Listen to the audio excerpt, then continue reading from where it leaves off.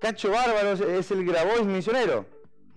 Y ahora se puso al frente de la campaña electoral Cacho Bárbaro. Por eso es que él eh, de repente se preocupa por la gente, ¿no? porque estaba borradísimo de que fue electo hasta ahora. Vas a escuchar al diputado Bárbaro entonces en campaña electoral tratando de juntar algunos votos e incentivando a cometer una cantidad de delitos que cualquiera de nosotros, reitero, si lo hace, va preso. Escúchalo. En síntesis, ¿qué pasa ahora en adelante? El lunes vamos a hacer la presentación, ¿para qué? Para que vuelvan atrás la medida. Entonces, se vuelve atrás, pero el juez tiene que dictaminarme en una semana o dos semanas. Yo el miedo que tengo que los tipos lleven una semana, dos semanas, tres semanas, cuatro semanas, cinco semanas, seis semanas, y no bajen la adrenalina todo y no entreguemos, ¿viste? Entonces, el lunes tenemos que convocar a la gente al juzgado de vuelta, a todos, lo que podamos, y después nos vamos a cortar la ruta. Y después nos vamos al Consejo Deliberante, entregar un petitorio ahí al intendente, a todos. Tenemos que movernos. Si no, esto se va a enfriar la sopa y ustedes no van a poder entrar, porque la Carlota está poniendo milico, todo, todo, todo, todo, reje, portones, toda la boludez porque ella no va a querer dejarle entrar a usted, le va a denunciar y va a venir la policía y le va a sacar porque por ahora el expediente dice que ustedes son usurpadores. ¿está? Entonces, sí o sí tenemos que hacer la movida el lunes. Sí o sí la movida el lunes. Es propiedad, es propiedad. vamos a volver, seguramente que después van a venir a jodernos de vuelta. Bueno, ahí le vamos a apretar al gobierno para que el gobierno compre las tierras. ¿Me entienden? Que, compre las tierras que estamos ocupando, no digo la totalidad. Si yo tengo 15 y ocupo 10, bueno, que me compren las 10 por lo menos. Que me hagan la casita, que me hagan todo de vuelta. ¿Está? Ahí tenés diputados nacionales y quiere con la gente presionarle al juez para que no se le enfríe la sopa, que saque rápido el juez, que no demore nada. No importa lo que dice la ley, nosotros le pedimos esto y le apretamos para que nos dé. Hay que apretar, dice Cacho Varo, ¿no? diputado nacional. Si no hacemos todo esto, no van a poder entrar más al terreno porque están poniendo, escucha esto, están poniendo portones, rejas y toda esa boludeces.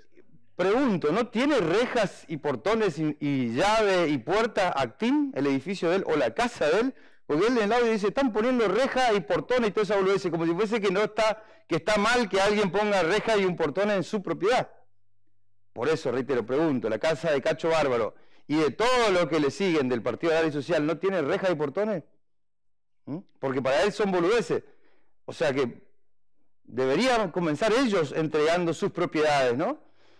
Que entregue a Actim, que a ustedes que no tienen tierra vengan a vivir acá en el patio de mi casa o en, o en Actim, que ya incluso tiene edificio y todo, ¿no? Esto es realmente grave.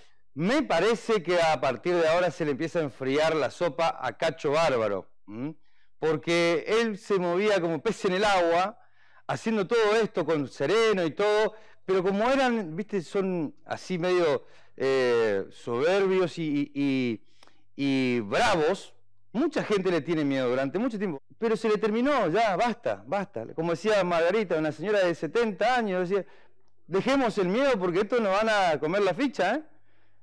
De que te usurpen un terreno allá en el interior a que te usurpen el patio de tu casa hay un paso. Sigue los lineamientos nacionales, sin dudas. ¿eh? Es el Grabois misionero. Ahí está la foto y todo. Encontramos la foto y todo de Bárbaro con Grabois.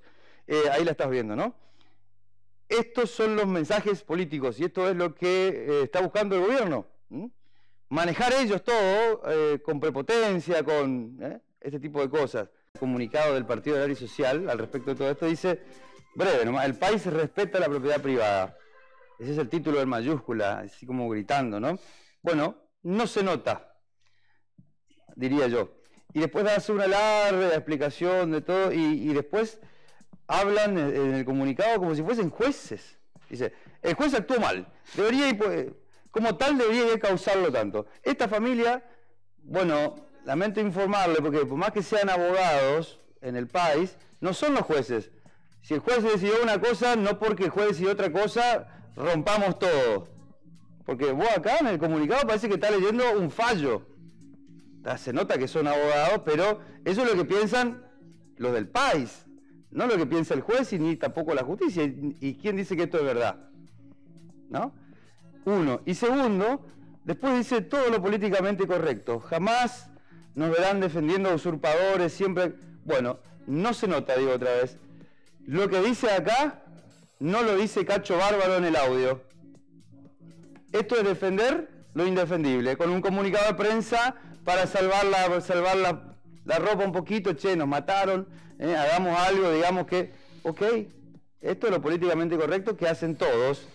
Ahora, en la verdad, ¿cuál es? El audio que mandó Cacho. Vamos a tomar así y vamos a ver qué, al juez le vamos a apretar. ¿Y sabe qué? Le vamos a apretar al intendente, al consejo, antes que se fríe la sopa. Y le vamos a pedir al gobierno también que nos ponga la casita. ¿Y sabe qué dice Cacho también? No dice lo que dice acá, ¿eh?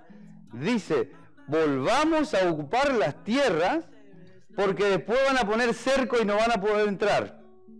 Entonces no dice lo que dice este comunicado. No somos tan tontos los ciudadanos, ¿eh?